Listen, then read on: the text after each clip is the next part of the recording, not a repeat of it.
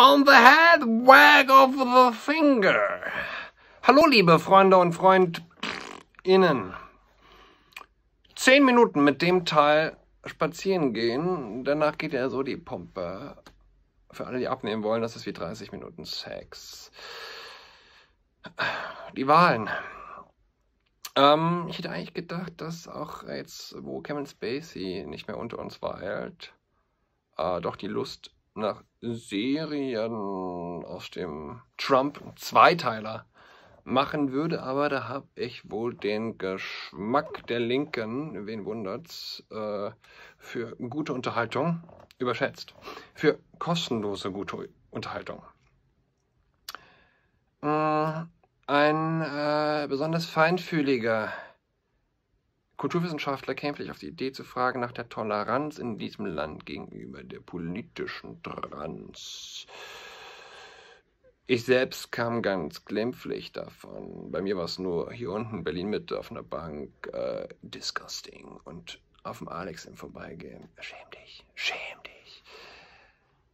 Ich kenne eine ganz tolle Frau, äh, die hat sich diese Kappe selber Tag sofort ausgeliehen, ist mit dem Teil los einkaufen gegangen. Äh, sie selbst ist eher dem äh, nahöstlichen Spektrum zuzuordnen. Und da hat doch glatt dann eine behijabte Dame vor ihr auf den Boden gespuckt. Ähm, eine andere Frau hat die Hand erhoben, da ging wohl der Partner dazwischen und im H und M schließlich kam immer die Security.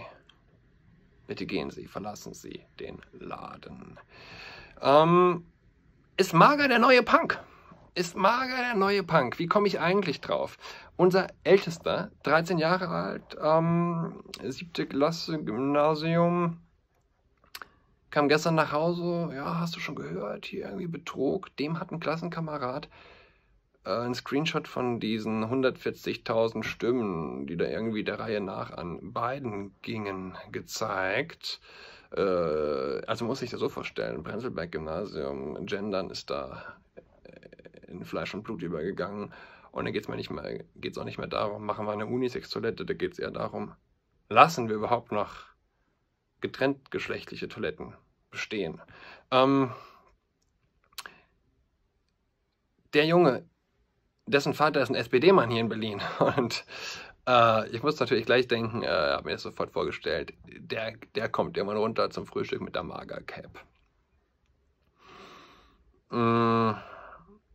Ja, tut sich da eine emotionale Lücke auf. Jetzt, wo Donald wahrscheinlich verliert, tut sich da eine emotionale Lücke auf. Ähm, vier Jahre lang nur auf ihn geschimpft, äh, dann der protestierende Genie, was macht er? Der setzt sich die Mager-Cap auf. Aber schnell sein, ich konnte das Teil nach ein paar Tagen nicht mehr bestellen. Da gab es nur noch die 3 Euro super billig Variante. Also, eine Jugend stricken lernen, basteln lernen, die Mager-Cap selbst basteln, äh, für alle, die abnehmen wollen, oder wer von der Uni fliegen will. Ähm, Aufsatz über ähm, wie steht es um die Toleranz gegenüber der politischen Trans, ähm, gegenüber den Magerträgern in Deutschland? Es bleibt in jedem Fall spannend.